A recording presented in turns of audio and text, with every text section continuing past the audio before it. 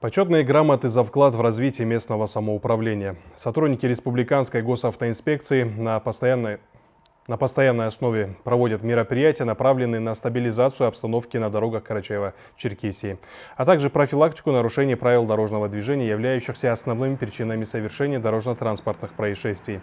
Так, за прошедшую неделю с 9 по 16 сентября дорожные полицейские задержали 26 водителей, управляющих транспортом в состоянии опьянения. 45 автомобилистов передвигались на транспорте без государственных регистрационных знаков.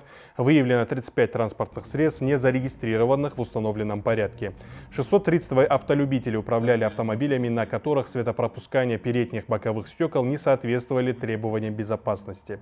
157 водителей устранили нарушения на месте. При помощи системы паутины паутина задержаны 36 водителей, управляющих транспортными средствами, регистрация которых прекращена. 11 автолюбителей, собственники которых являются злостные неплательщики административных штрафов за нарушение правил дорожного движения.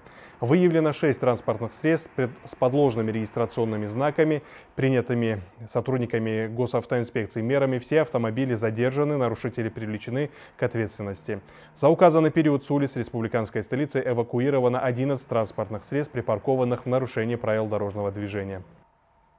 Водители, которые паркуют свой э, транспорт э, в местах, где это не разрешено, э, доставляют неудобства, дискомфорт другим участникам дорожного движения. Это у нас те же пешеходы, которые занимаются своими делами, переходят через какой-то определенный участок, и им порой приходится выходить из-за того, что машина припаркована не в положенном месте, приходится выходить на проезжую часть. Бывают ситуации, когда у нас и взрослые мамочки с детьми своими, с колясками в том числе. То есть это у нас получается а, ситуация, когда вполне а, возможно, что из-за того, что водитель припарковал свой автомобиль в неположенном месте, может случиться дорожно-транспортное происшествие, в котором могут пострадать и люди. Призываем всех водителей относиться с уважением к другим участникам дорожного движения и не создавать дискомфорта тем же пешеходам и другим водителям транспортных средств.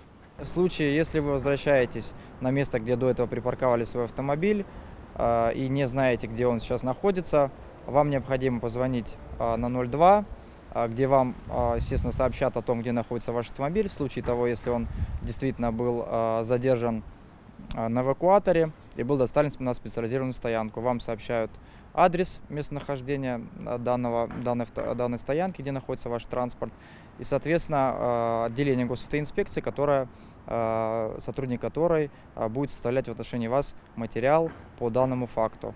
Необходимо будет вам обратиться в, именно вот в данный отдел госавтоинспекции, где вам будет выдано распоряжение о выдаче транспортного средства, находящегося на специализированной стоянке, и уже после чего будет вынесено, будет вынесено постановление об административном правонарушении за нарушение правил стоянки или остановки транспортного средства.